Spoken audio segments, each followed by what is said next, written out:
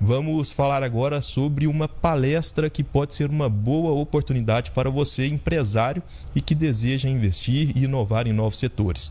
A Subsecretaria de Ciência, Tecnologia e Inovação do Estado de Minas Gerais está convidando a todos para uma palestra sobre oportunidades de acesso a recursos financeiros não reembolsáveis para projetos de empresa, cooperativas, startups e também universidades que queiram inovar em qualquer setor dentro do estado de Minas Gerais.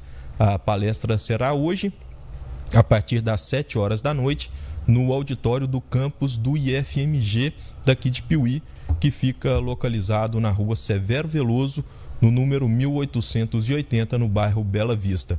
O subsecretário do governo de Minas gravou um vídeo e faz o convite para você.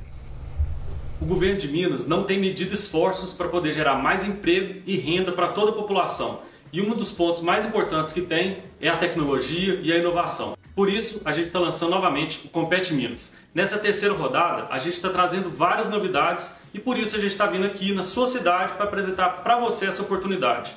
Então venha conhecer o Compete Minas e vários outros programas de ciência, tecnologia e inovação que o governo de Minas Gerais tem para você.